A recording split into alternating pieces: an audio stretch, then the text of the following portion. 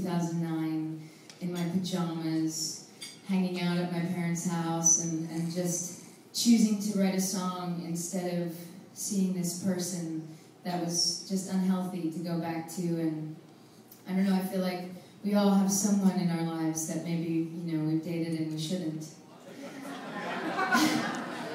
over and over and over again. Um, so that was me, and this magical day happened where I think one of the other things we relate to is that day then we're over the person, and we never know when that's going to be. It's a miraculous day and a victorious day where you know we wake up and say no, and we mean it.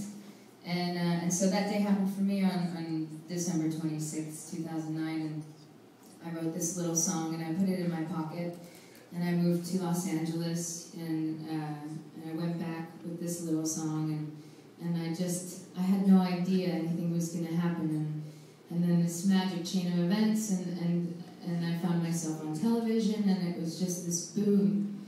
And uh, two and a half years later, here I am. And I have this belief after two years of wondering why and how, like so many of us when when something like that happens, you know, you wonder why. Really, there's so many people who do what we do in our all of our fields, and uh, and I had to stop wondering why, and realize that it didn't have anything to do with me. You know, I did my part, I, I did my craft, and and the rest was really up to everyone else. And I realized that everyone opened up their hearts and they let the song inside, and then we became connected forever. Really, so it's pretty awesome. Uh, it's a song about strength, and it's called Jar Hearts. I know I can take one more step towards you.